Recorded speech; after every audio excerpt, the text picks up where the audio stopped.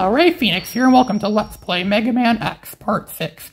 So we're going to continue on with the Sigma stages. This is Sigma Stage 2. So this level, this level is the Sigma sending the same, our usual array, usual assortment of all the same enemies we've seen since the very beginning of this game. Even Sigma likes recycling his own enemies, his own things, and, and still likes using them. Even in the Sigma stages, we do some more Donkey Kong-esque platforming while we jump on those moving platforms. We can run around for here.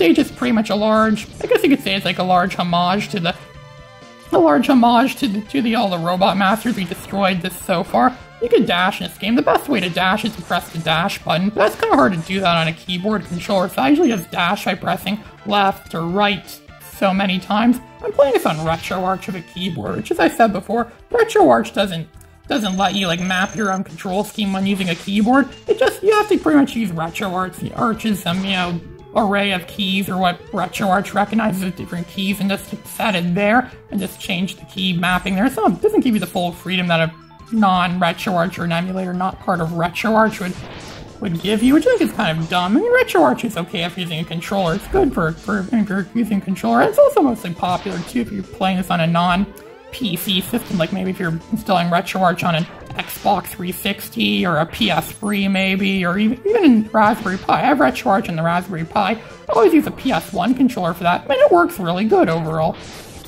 And most people just say, well, if you're using a PC, they might as well just use a standalone emulator. But I guess I can see why they think that. I mean, it's just, it's just kind of odd that RetroArch, you know, they, they're, they should be emulation masters. They should know that people like to use the whole keyboard for playing games, not just half of the keyboard, not even half, more like the, just the left quadrant of the keyboard. So Chill Penguin was destroyed easy. Chill Penguin is, is still as big of a wuss as he ever was before. And better, and he hasn't been upgraded at all, but we were heavily upgraded, as you can see. So that's why we destroyed him easy. I don't think any of the Mavericks have been upgraded since the last time we saw them. So we can just plow through them easy or rip them apart easy because now we have better health, better firepower, and better everything. We just plow for this game. Just go into our own mech and just plow for everything. Cause a lot of damage, cause a lot of havoc, and pretty much break everything and destroy everything and, and obliterate everything that comes out on the screen. Is there Mega Man X? What else would Mega Man X do? It's his job to destroy and obliterate any of the evil robots imaginable or any robots on the screen. Also, one flaw that he actually has in common with classic Mega Man is that he's not doesn't have any resistance to when he gets hit. He's on a ladder.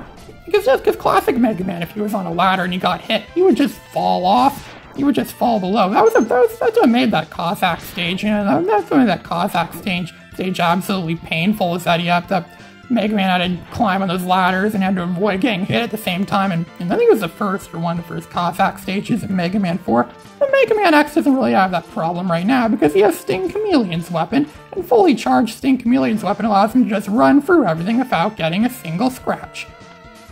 Sting Chameleon's weapon is by far one of the greatest weapons in the Mega Man franchise. We're in the sky again, so of course we're going to fight against Storm Eagle, the second biggest wimp in this game next to Chill Penguin, Storm Eagle's wuss. He just go down easy. You're not even going to use his weakness. I'm not even sure what his weakness is. I think it's Sting Chameleon's weapon. Obviously uncharged, but I think it's Sting Chameleon's weapon, but I don't know. I have no idea. I never, I never use his weakness against him.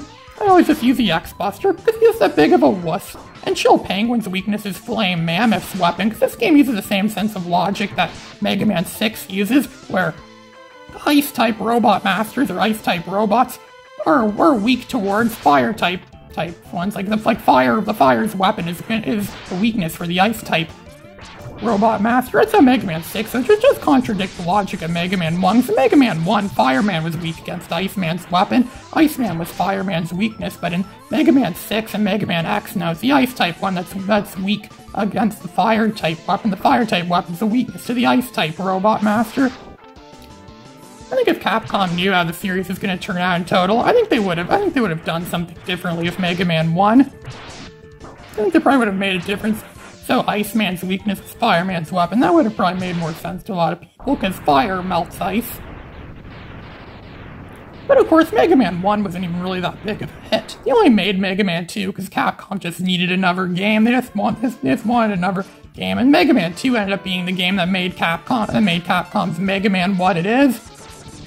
Mega Man 2 is again a revolutionized the Mega Man series. Mega Man 2 is the reason why this game exists and why most of the other Mega Man games and most of the other series Mega Man, reason why they exist is because of Mega Man 2.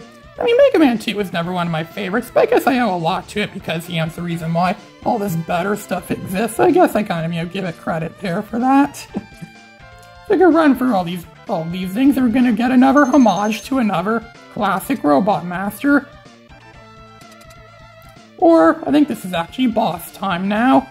We're gonna take on, that's right, this isn't a Robot Master, it's boss time already, man, this all slipped by really fast. I have no idea what this thing's weakness is, I have no idea what it is, so most of the time I just either randomly guess what it is, or if I can't just guess, I just use the X-Buster. The X-Buster is actually a pretty good weapon against this thing this, you know, this, what you call this, what you call this thing. It looks almost like a modern art masterpiece of some sort, with Sigma's logo painted on his forehead. And he opens up his eyes and he gets shoot at him. I think just using the X-Buster is probably just the best thing to use against him anyways. I'm glad this thing doesn't do what Mega Man 2 does, where the only way to kill some of the bosses was to use a specific weapon. Kind of like the boss in one of the Wily stages where you had to use Crash Man's weapon. You had to like carefully like plan out the shot number of shots you use and you mess up, it's pretty much game over because how dumb Mega Man 2 was.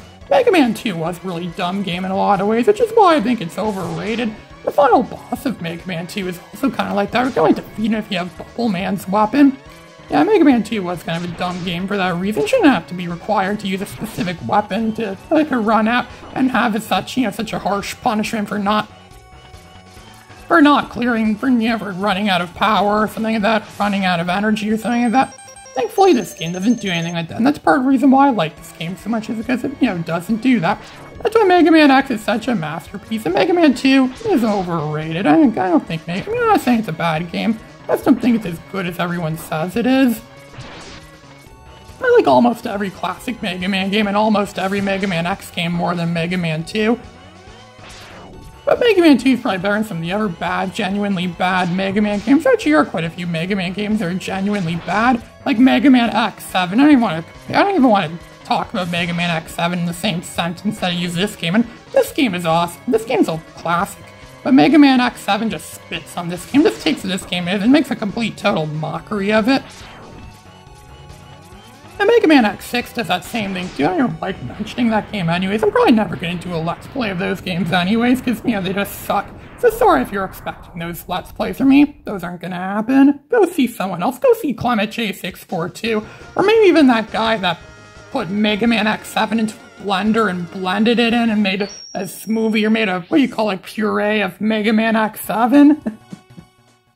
so we're gonna, so I'm gonna do some off-screen grinding and chill penguin stage. So we're gonna head off to the next Sigma stage, and it's another climbing stage, much like Boomer Kuwanger, or Donkey Kong again, where we just go and climb up, and there's more of this, the same assortment of enemies we've been seeing throughout the... Well, look at that, just one charge shot, a few uncharged, fully charged shot, and a few uncharged shots destroys that turtle thing easy. So here's, what's this guy's name? Oh yes, Armored Armadillo, and he's never learned from his mistakes, so he's still just as weak to so he's still just as weak to Spark Mandrill's weapon as he's ever been before. Just one shot of it makes his armor conf. It's almost redundant that we have to fight all these bosses again, especially in the way it's presented in 2. We just take them on like they're nothing. It'll be more of a challenge if made us do the gauntlet like how it was in Mega Man 2, but then they don't give us any health refills or give us very little health refills. That would be a real challenge. But no, this game is too easy. If this, that's why the original Mega Man and this game and Mega Man Bass are the only Mega Man games I know of have the boss gauntlet done in this fashion. Yeah, that's right, even Mega Man Bass does it like this.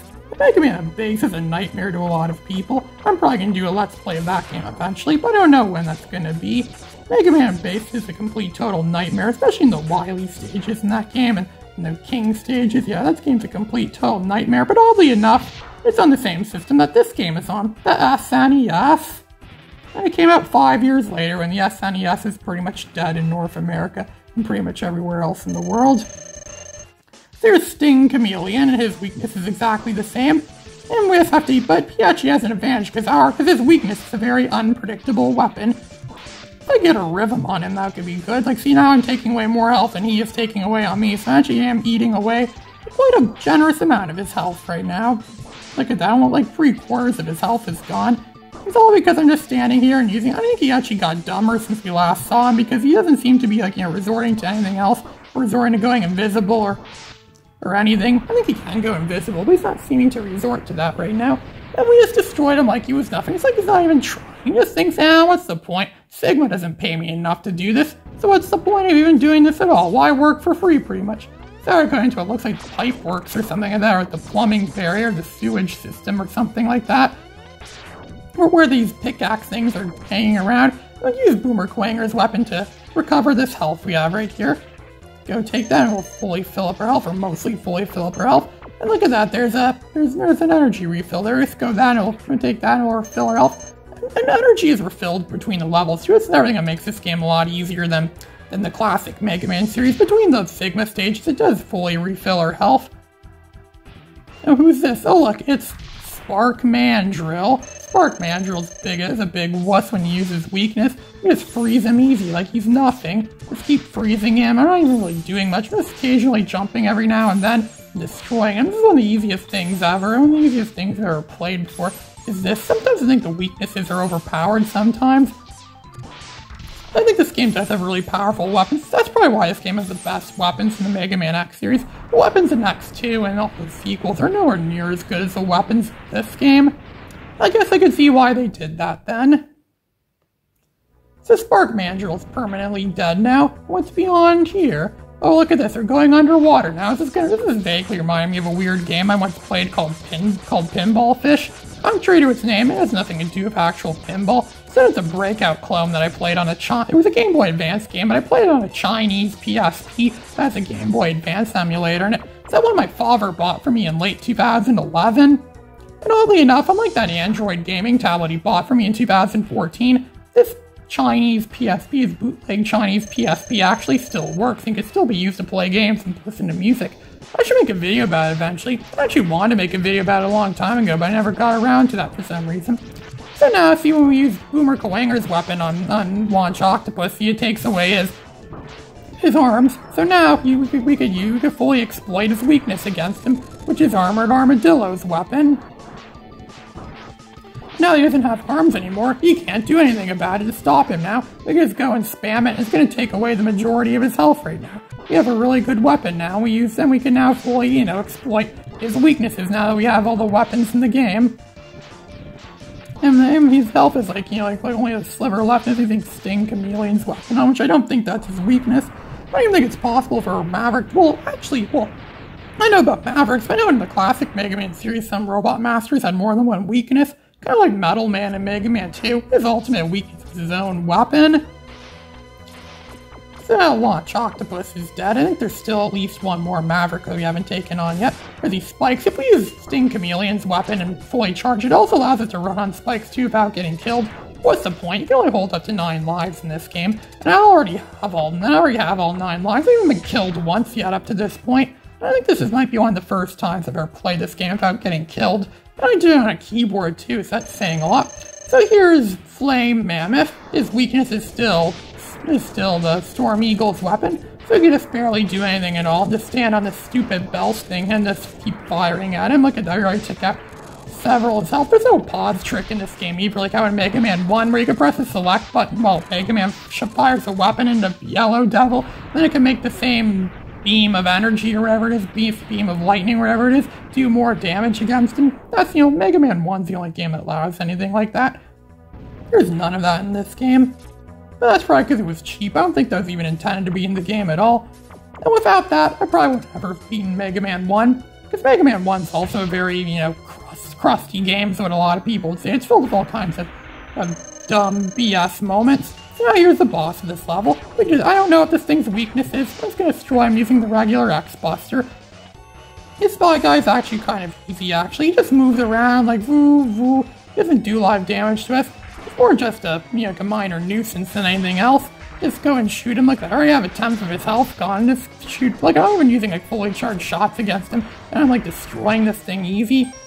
So now we just use one of our sub-tanks. Why else would I do a lot of grinding? It would be useless if I did a lot of grinding for sub-tanks that I never use.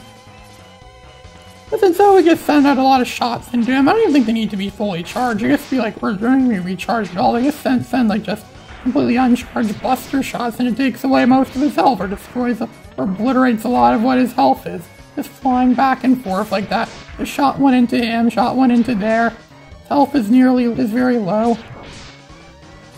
I'm about to win this easy. Most of the bosses game, this actually is probably, out of all the Sigma bosses in this game, this is probably the easiest one. It's definitely, this actually is the easiest Sigma boss in the game. They, put, they should have put the spider in this level, and this one should have been in the first level of the game, but I don't, I don't know, I don't think progressive difficulty is something, since none of Mega Man games ever have progressive difficulty, right? This has a sliver of his health left, and he's been destroyed. An easy victory. He barely did anything to us. Now we cleared three of the four Sigma stages. That means up next, we're taking on Sigma and finally ending this stupid conflict. This war that's been going on since the very first part of this game. And there aren't any weapons or anything we collect from these stages. It's just going to take us right to the next. It's going to take us back to the level select screen where we can go take on Sigma. This is Ray Phoenix signing out.